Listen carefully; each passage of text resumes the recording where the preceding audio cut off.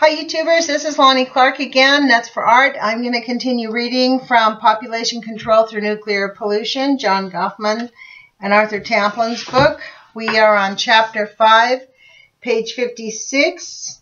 The title of the chapter is Lip Service to Public Health.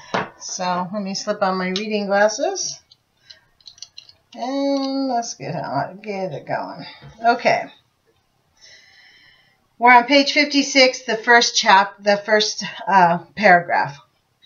And the Atomic Energy Commissioners heard plenty about the radioactive iodine contamination of Utah milk.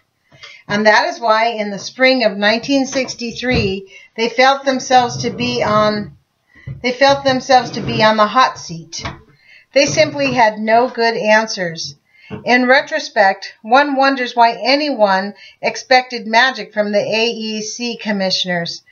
Clearly, if atmospheric nuclear explosive tests spew radioactivity around the landscape, and if someone measures for such radioactivity, Houdini himself couldn't have made the radioactivity disappear.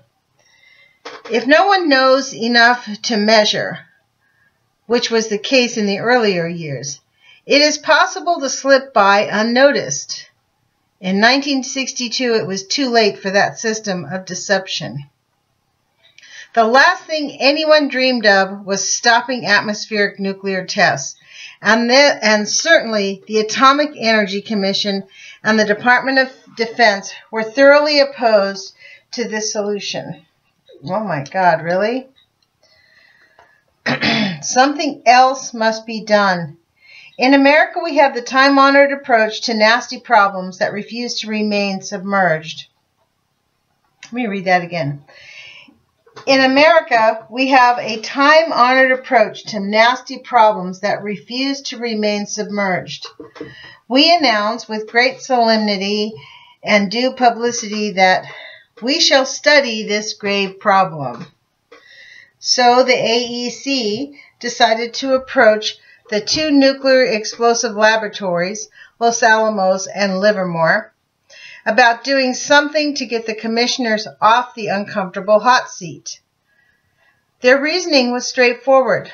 Nuclear explosives are designed and tested either by the Los Alamos Laboratory or the Livermore Laboratory.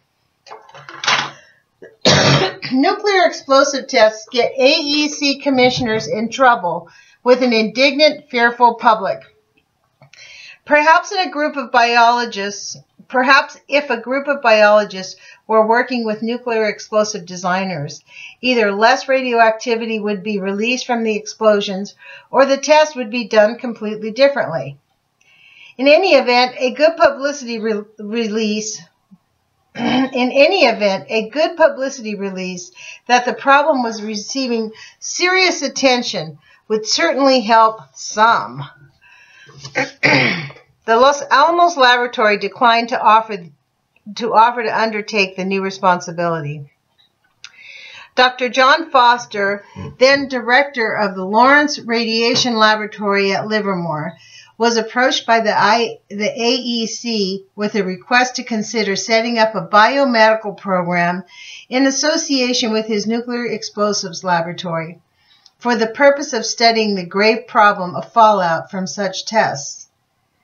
John Foster, we got to remember that guy's name. he called us to ask for an opinion concerning the wisdom and necessity of setting up a biomedical program. Was such a program necessary? Could it make it could it make a national contribution? Who would be available to do the work if it were to be done?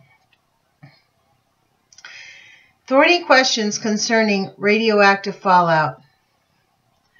Both of us agreed that radioactive fallout from weapons testing and so-called peaceful nuclear explosives, as well as other atomic energy activities, was indeed grave concern.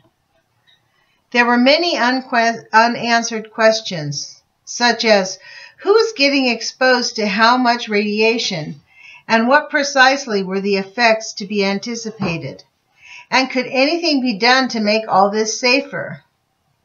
Some 19 laboratories were already studying biological effects of radiation and fallout and related subjects under the AEC auspices. Why weren't they providing all the answers that were required? Why set up still another biomedical laboratory to study the radioactive radiation hazard problem? On careful thought, we decided it was desirable to have one laboratory consider, in a broad overall manner, the impact upon life and society of nuclear programs, from the nuclear source, such as the explosive itself, all the way through air, water, soil, food chains into man, and the ultimate effect upon man and other members of the biosphere. Indeed, we not only thought it was desirable, but mandatory after we realized that no one was taking a broad view of the impact of Atomic Energy Commission activities that spewed radioactivity around various parts of the world's landscape. But there were several very thorny problems. The past record of the Atomic Energy Commission was anything but encouraging with respect to objectivity concerning the health hazards of its program. Why should one honestly why should one expect honesty and objectivity to arise suddenly? What if one did take this assignment seriously and try to find out the true impact of man's radioactivity release from various AEC programs? And what if the results indicated that the best thing to do would be to cancel those nuclear programs? Could the Atomic Energy Commission be counted upon to tolerate such thwarts to its promotional efforts just because of health hazards? Would we be allowed to tell the truth about whatever hazards we discovered? Or might the frequently used security classification secret be slapped on so the unsuspecting public would be none the wiser? That's where we're at today, folks. Besides, the credibility of the Atomic Energy Commission was so low in the eyes of the biological scientific community that it hardly seemed likely that anyone would seriously believe results reported from the AEC supported laboratory, even a new one, there being so little reason to have ever believed AEC safety pronouncements in the past. Wow. We're paying for this. Billions of our own tax dollars going for these pack of liars. I'm, uh, it's stunning that we can't stop them. okay. A new program to study effects of radioactivity. Dr. Foster was most reassuring of all these concerns.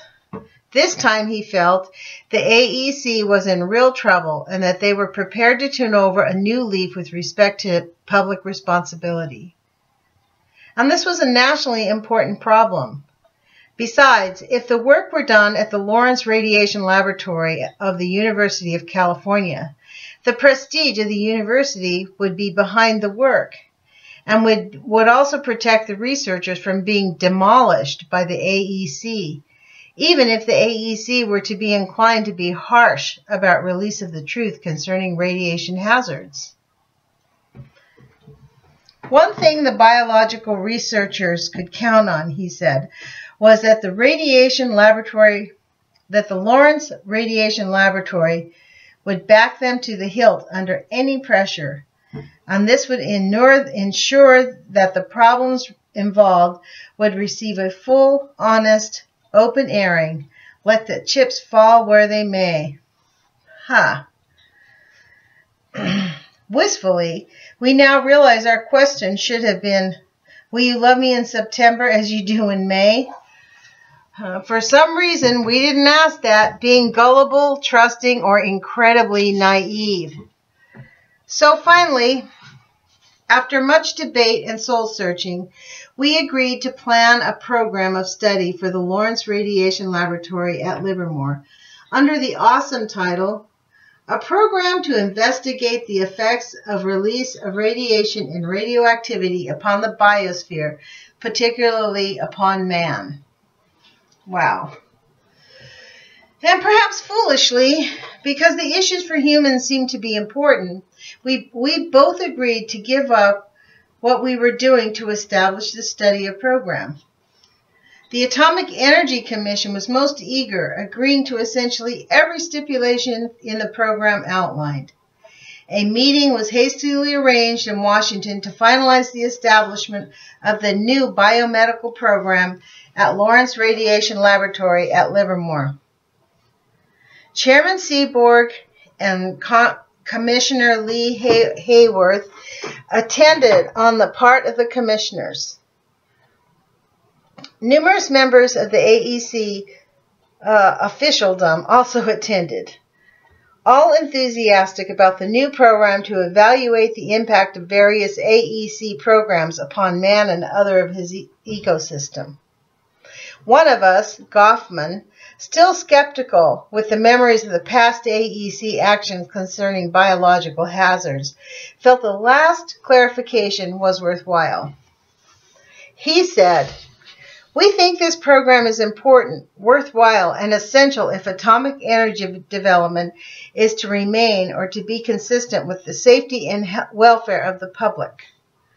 What, he asked, would be the attitude of the AEC if the development if the developing studies indicated any particular program of the AEC were inimical to the health interests of the U.S. citizens.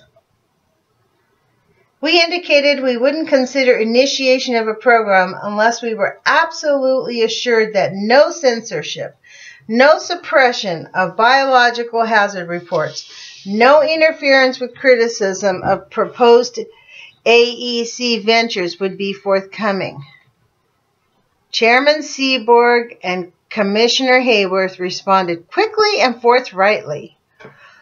All we want is for you to tell the truth about biological and medical hazards.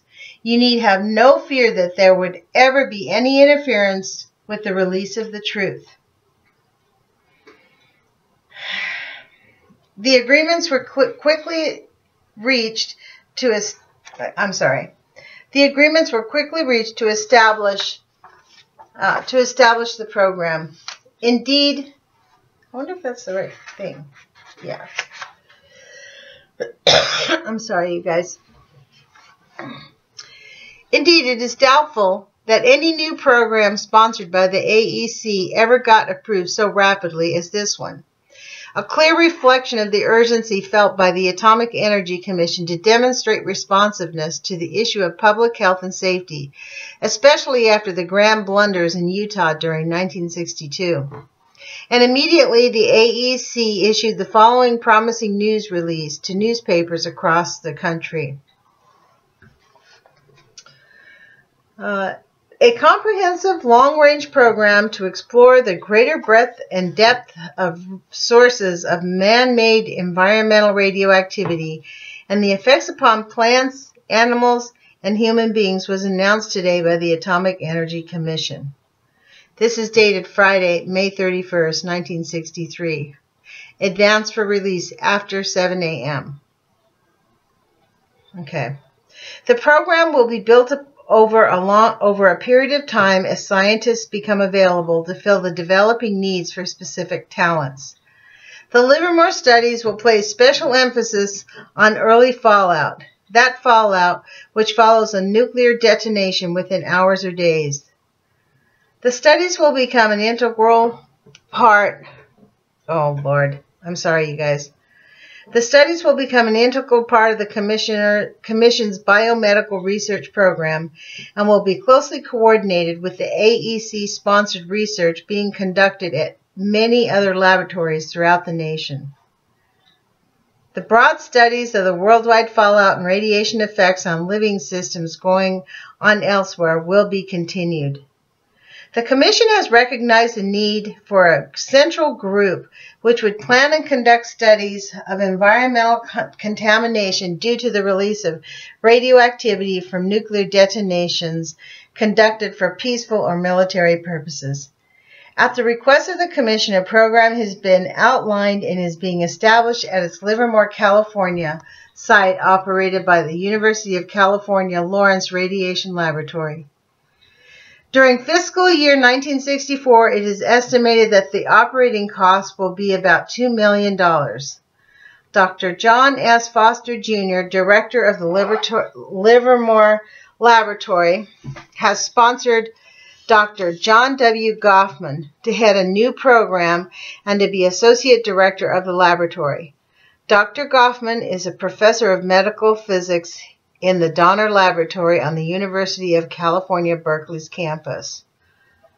The presence at Livermore of scientists knowledgeable in the ways of man-made radiation is generated and released, plus the concentration of pertinent facilities make Livermore unusually suitable for assessing the implications of the broad range of possible conditions under which such releases might occur.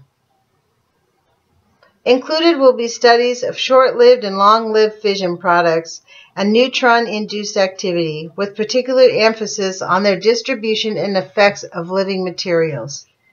In particular, the laboratory will investigate the entire chain of events leading to radiation exposure of human beings which might follow. One of the early studies cont contemplated will be concerned with the short-lived fission product of iodine-131. Biological and medical research will now be closely integrated with existing physical science programs at the laboratory, such as, for example, the Plowshare program, in which nuclear explosives are being developed for huge earth-moving projects, mining operations, etc. The existing highly developed computer facilities at Livermore will be vital aid to the continuing coalition of the storehouse of research information already available. That's the end of the press release.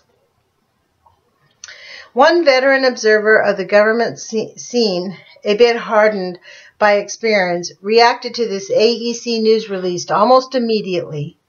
I.F. Stone of his biweekly of June 24, 1963 wrote, The Lawrence Radiation Laboratory and the Atomic Energy Commission have just announced establishment of a long-range program to study the effects of radioactivity on man. The radiation, the Lawrence Radiation Laboratory is the stronghold of Dr. Edward Teller, the father of the hydrogen bomb. And so shortly we can expect to hear an announcement from the Lawrence Laboratory that radio, radioiodine is good for babies. this cynicism reflected such a remark was typical of opinions prevalent at that time concerning the credibility of the Atomic Energy Commission concerning health matters. We of the Lawrence Labs new biomedical division winced a little at this remark. We knew it meant our job was going to be harder than ever, since people were likely to be unbelieving of any statement made by the AEC supported laboratory but we knew the problems involved were of desperate importance to the health and welfare of the country, and indeed for human beings in general. And we were determined to do a first-rate job to evaluate the true potential hazards realistically and honestly. However, we did not know that Mr. Stone appreciated far better than we did the difficulty we would be getting, we would have getting the truth to the public without repression. Hmm. As we saw the problem, there were four essential aspects. One, learning all about the major AEC programs that could be expected to be a major source of release of radiation and radioactivity and whether constructive suggestions could be made for minimizing radioactivity release at the source. Among these programs were nuclear weapon testing, peaceful nuclear explosives, and so-called plowshare program, nuclear reactors for power generation and spaceflight, and radioisotopes for industry and medical use. 2. Learning in a systematic manner how radioactive pollution would distribute themselves from nuclear events in the air, water, and air, water, soil, and finally the foodstuffs ultimately consumed by man. Oh man, we're going on 20 minutes. So, I think I am going to try to audit this and cut it out a little bit. So, okay, you guys, um, I'll talk to you, Lynn, tomorrow night. Uh, I'll read a little bit more. And we're leaving off on page 62 uh, of chapter 5. And I'll talk to you later. Sweet dreams. Bye. Okay, we're going to do that again. One, two, three. Okay, you guys, I'm going to end here. Uh, I'll talk to you tomorrow night. We're on page 62 and of chapter 5. We're making headway. So make an effort not to let this get to you. So put your courage feet on. Things aren't as hard as they look. It's not going to happen overnight, but it's our reality. And this information is going to arm us. So, ciao, you guys. Take care. Sweet dreams.